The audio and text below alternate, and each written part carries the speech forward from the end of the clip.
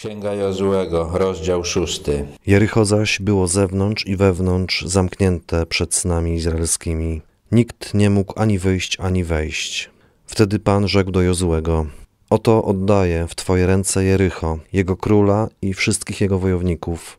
Pomimo strachu, jaki padł na mieszkańców Jericha, kiedy się dowiedzieli, że Bóg rozdzielił wody Jordanu przed Izraelem, nie poddali się. Bóg wykorzystał ten opór do tego, żeby pokazać swoją potęgę. Zapowiedział Jozuemu, że odda to miasto w jego ręce. Odda, czyli ani Jozue, ani Izrael nie przyłożą do tego zbytnio swojego wysiłku. Obejdziecie miasto wokoło, wy wszyscy wojownicy, okrążając je jeden raz. Tak będziesz robił przez sześć dni. Siedmiu kapłanów nieść będzie przed skrzynią siedem trąb z baranich rogów. W siódmym dniu zaś obejdziecie miasto siedem razy, a kapłani będą trąbić na baranich rogach. A gdy będą przeciągle trąbić na baranich rogach i wy usłyszycie głos trąb, niech cały lud wzniesie głośny okrzyk bojowy. Wtedy mur miasta rozpadnie się w miejscu, a lud wkroczy do niego, każdy prosto przed siebie. Obchodzenie miasta ze skrzynią i granie na trąbach to nie są normalne sposoby prowadzenia oblężenia, ale Bóg właśnie takie coś nakazał, żeby Izrael to wykonywał. Wtedy Jozue, syn Nuna, przywołał kapłanów i rzekł do nich: Podnieście skrzynię przymierza, a siedmiu kapłanów niech poniesie siedem trąb z baranich rogów przed skrzynią Pana. Do ludu zaś rzekł: Ruszajcie i obejdźcie miasto wokoło, a zbrojni niech idą przed skrzynią Pana. A gdy Jozue powiedział to ludowi, ruszyło siedmiu kapłanów niosących siedem trąb z baranich rogów przed Panem i trąbili na trąbach, zaś skrzynia przymierza Pana szła za nimi. Zbrojni szli przed kapłanami, trąbiącymi na trąbach, straż tylna zaś szła za skrzynią, trąbiąc bez ustanku na trąbach. Ludowi zaś Jozue przykazał, nie wznoście okrzyku bojowego i nie podnoście swego głosu, i niech z waszych ust nie wyjdzie słowo aż do dnia, kiedy wam powiem. Wtedy wzniesiecie okrzyk bojowy. Jozue wydał zarządzenia, aby stało się tak, jak Bóg nakazał. Polecił kapłanom, żeby nosili Arkę Przymierza i grali na trąbach. Polecił zbrojnym i całemu ludowi, żeby obchodzili miasto wzdłuż murów. Na pewno było wielu takich, którzy uważali, że takie postępowanie jest głupie. Byli też tacy, którzy chcieli na własną rękę zaatakować miasto, ale Jozue wydał stanowcze rozkazy i egzekwował je. I zarządził, że skrzynia Pana obeszła miasto wokoło, raz je okrążając. Potem weszli do obozu i pozostali przez noc w obozie. Pierwszego dnia wszystko stało się tak, jak Bóg nakazał. Jozue wstał wcześnie rano i kapłani ponieśli skrzynię Pana, a siedmiu kapłanów niosących przed skrzynią Pana siedem trąb z baranich rogów bez ustanku trąbiło na trąbach. Zbrojni zaś szli przed nimi, a straż tylna kroczyła za skrzynią Pana, przy czym bez ustanku trąbiono na trąbach. Także w drugim dniu obeszli miasto jeden raz, po czym wrócili do obozu. Tak czynili przez sześć dni. Także drugiego dnia i w kolejne dni wszystko działo się tak samo. Jest tutaj napisane, że Jozue wstał wcześnie rano.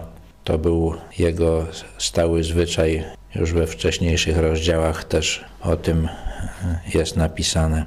Ale siódmego dnia wstali wcześnie, gdy wzeszła zorza poranna i obeszli miasto w ten sam sposób, lecz siedem razy. Tylko tego dnia obeszli miasto siedem razy. Za siódmym razem, gdy kapłani zatrąbili na trąbach, rzekł Jozue do ludu: Wznieście okrzyk bojowy, gdyż Pan dał wam to miasto, a miasto to i wszystko, co w nim się znajduje, będzie pod klątwą Pana. Tylko Rahab, nierządnica, pozostanie przy życiu, ona i wszyscy, którzy są z nią w domu, ponieważ ukryła posłańców, których wysłaliśmy. Wystrzegajcie się tylko tego, co jest pod klątwą, abyście nie zabierali nic z tego, co obłożyliście klątwą. Wystrzegajcie się tylko tego, co jest pod klątwą, abyście nie zabierali nic z tego, co oburzyliście klątwą, i abyście przez to nie narazili na klątwę obozu Izraela i nie wtrącili go w nieszczęście. Wszystko srebro i złoto oraz przedmioty z miedzi i żelaza poświęcone są Panu. Wejdą do skarbca Pana. Siódmego dnia po obejściu Jericha siedmiokrotnie Jozue wydał rozkaz do ataku. Jeszcze nie widać było, żeby coś się działo z murami, ale on już wierzył, że stanie się tak, jak Bóg mu obiecał. Wydał rozkazy, nakazał, żeby cały metal, który zostanie zdobyty, oddano Bogu, żeby oszczędzono nierządnicę Rahab i wszystkich, którzy z nią byli. Był przygotowany na to, że Bóg dotrzyma słowa, żadnej innej możliwości nie brał pod uwagę. Wtedy lud wzniósł okrzyk bojowy i zatrąbili na trąbach. A gdy lud usłyszał głos trąb, wzniósł potężny okrzyk bojowy i mur rozpadł się w miejscu. Lud zaś wkroczył do miasta, każdy prosto przed siebie i zdobyli miasto. I rzeczywiście stało się tak, jak Bóg zapowiedział. Mury rozpadły się i miasto można było zdobyć. I wróżnęli do nogi ostrzem miecza wszystko, co było w mieście, mężczyzn i kobiety, młodych i starych, woły, owce i osły. Bóg nakazał, żeby wybić wszystkich mieszkańców Jericha i wszystkie zwierzęta i Izraelici tak zrobili. Do obu zaś mężów, którzy przeprowadzili wywiad w tej ziemi, rzekł Jozue: Idźcie do domu nierządnicy i wyprowadźcie stamtąd tę kobietę i wszystkich jej najbliższych, jak to jej przysięgliście. I poszli młodzieńcy, którzy przeprowadzili wywiad i wyprowadzili Rahab, jej ojca i matkę, jej braci i wszystkich jej najbliższych. Całą jej rodzinę wyprowadzili i umieścili ich poza obozem izraelskim. Wywiadowcy obiecali Rahab, że uratują ją i całą jej rodzinę i dotrzymali słowa. Rahab wyszła za mąż za Izraelitę Salmona, urodziła Boza, który potem wziął za żonę Moabitkę Rut i Boz jest jednym z przodków Jezusa, jest w jego rodowodzie. Miasto zaś wraz ze wszystkim, co w nim było, spalili ogniem, a tylko srebro i złoto oraz przedmioty z miedzi i żelaza oddali do skarbca domu Pana. Jericho zostało całkowicie zniszczone, tak jak to Bóg nakazał. Nierządnicę Rahab, rodzinę jej ojca i wszystko, co miała, zachował Jozue przy życiu. Zamieszkała ona wśród Izraela po dzień dzisiejszy, ponieważ ukryła posłańców, których wysłał Jozue, aby przeprowadzili wywiad w Jerychu. No, wtedy, kiedy pisano te słowa, jeszcze nikt nie wiedział, że Rahab będzie miała taki udział w przyjściu Zbawiciela na ziemię. W tym czasie kazał Jozue ludowi złożyć przysięgę. Przeklęty niech będzie przed Panem mąż, który podejmie odbudowę tego miasta, Jerycha. Na swoim pierworodnym założy jego fundament i na swoim najmłodszym postawi jego bramy.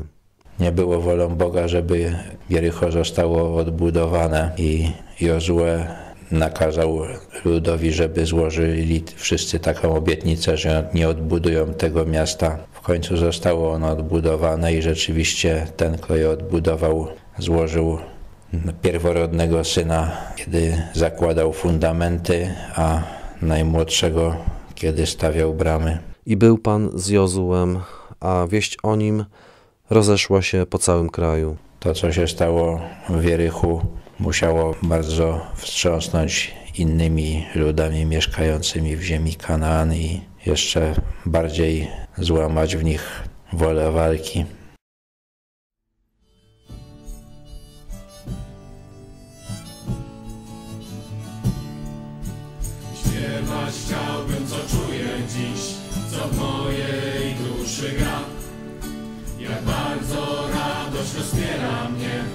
Na Boga znam.